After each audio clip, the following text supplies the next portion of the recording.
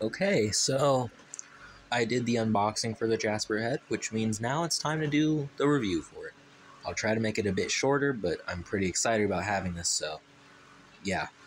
Now, this Jasper head came from the, and I'm sorry if I say this wrong, which I probably am, um, Wichita, I believe, Kansas location, which was a pretty cool place because it had a road stage, and that's one of my favorite stage types, if not my favorite stage type.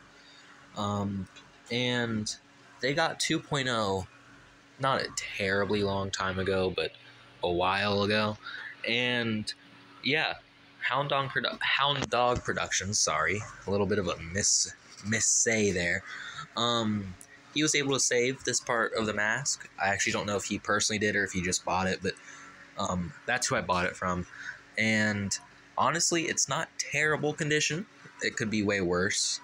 Um, and it's obviously it's not good, but yeah, I don't have the backing. I just have the front, but at least I do know if there is any other parts of it out there, which there could be. I don't know for sure. I've not seen anyone with them, but um, that this is most of the head. Now, I'd say it's probably about the same, maybe a little better condition than my past Pasquale head since it has the top half and part of the snout and all that. So, I mean, has like half of the top half, half of the bottom half, and half of the snout. It's really weird. But yeah, no, I love this. I'm going to set it up on the shelf with Pasquale's head. Um, I have it on a box currently propped up because it needs to stand up better. But yeah, so it came from the Wichita, Kansas road stage, as I said, which is already awesome because it's from a road stage. But this is also, I believe, a early '90s mask. I don't know for sure what age it is. Um, like I said, early '90s, but I don't know the exact year. Um, but overall, it's in fair shape. So I'm gonna move it to where it's easier to see. I'm gonna stand up too. So the snout's pretty beat up as you can see, but it's partly there. It, you can't see it now, but there's a one on the back of the wood, which I don't know why that's there, but it was. And if you can see, there is a bolt there. That's because there was still, like, there was still the screw and bolt to put this now on the face. So I thought, you know, since the screw hole and stuff was there and the bolt was there, I'd just go ahead and put it back on, and now it's a bit more complete. But yeah, no, it's on there. Um, the ear is I'll turn the camera on because it's kind of hard. Well, that didn't make much of a difference, but the ear is actually brand new. There's no rips or dirt or like anything in it. It's like literally brand new, which is awesome. Um, the rest of the head obviously is torn up, but it's there.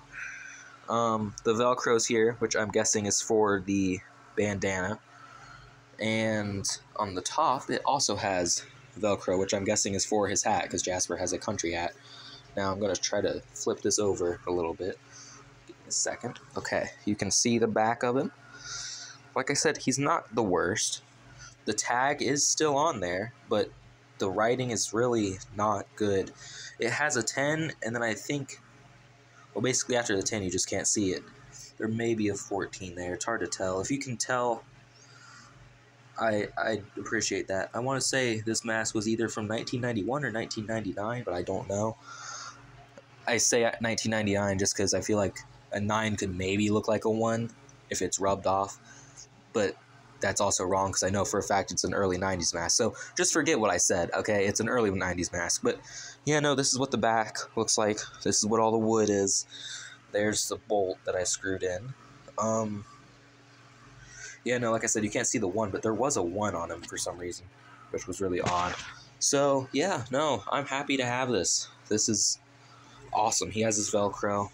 So, you know, I have a Jasper head now, which is just awesome.